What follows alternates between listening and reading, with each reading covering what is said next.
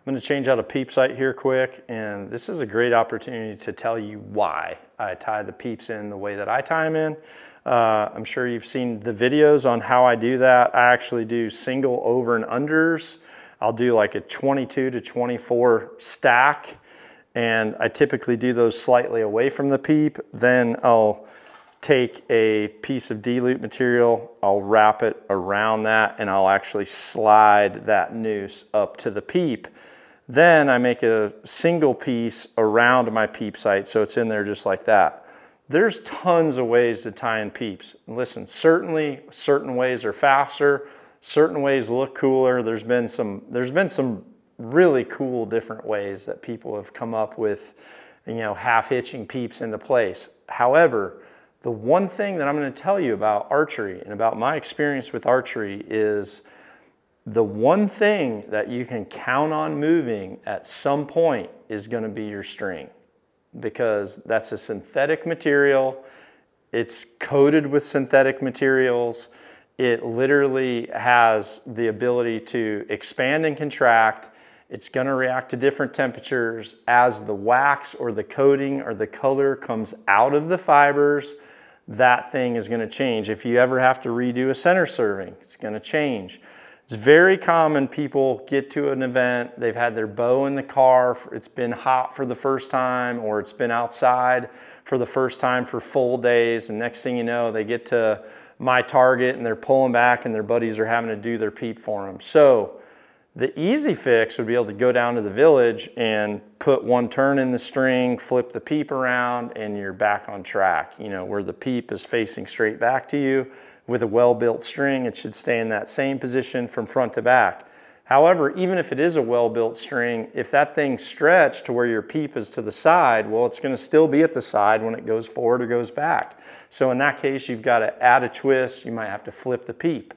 I tie mine this way simply because if I need to add a twist and then flip my peep, it is super easy to do and I don't really change much. Now in this case, I'm doing a peep exchange, so the same thing really applies. So let's say I go to an event, I need to do a peep change. And why would that happen? Sometimes I've gone to tournaments where the indoor lighting is horrible. The small peep that I had at home in my home range, I can't see through it. The whole target's dark and blurry. So I might have to bump up to a slightly larger peep sight. In that case, I'm gonna have to just find a press, make a quick change. The way that I do it, this allows me to come right here, the way I tie these peeps in so that they don't shoot out. And this is a critical, critical safety protocol. Always have your peep totally tied in around.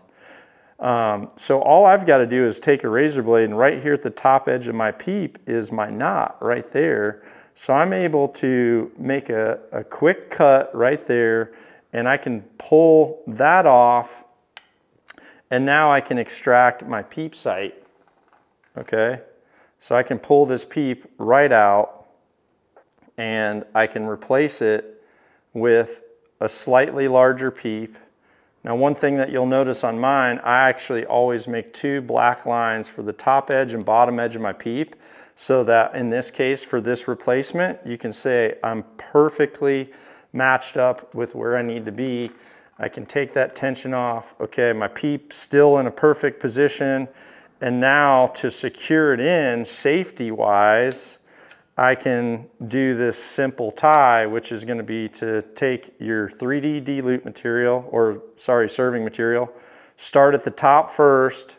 I'm gonna make one tie just like this, and I'm gonna tie that around that peep like this. I'll tie this bottom part, pull it tight. Again, that was a single tie.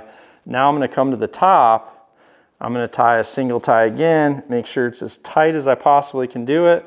Then I'm gonna tie it one more time, again on the top, which would complete a square knot. And this now allows me to burn down this little tied piece safely and my peep is secured. It's not gonna eject out and hit anybody, God forbid a dry fire, uh, you know, an arrow nock blowing up, anything like that. that peep sight will come out and that thing is a projectile when it does. So you do want it tied in. But my way of tying in my peep sights takes a little bit more time, honestly looks a little bit more traditional, but the reality is this lets you do a, a string twist, a peep flip, or a peep exchange with literally the need of making one cut in a very safe place. You're literally cutting against the hard edge of the peep sight. So you're able to just cut that one knot right there. That comes off. You can do what you need to do. If I had to make one full turn in this string and flip that peep around to the other side, I could have done that as well. So there's always a why behind the different little things that I do. That is why you see me tie the peeps in the way that I do and not use the fully half hitch tied in peep systems that you might see from others.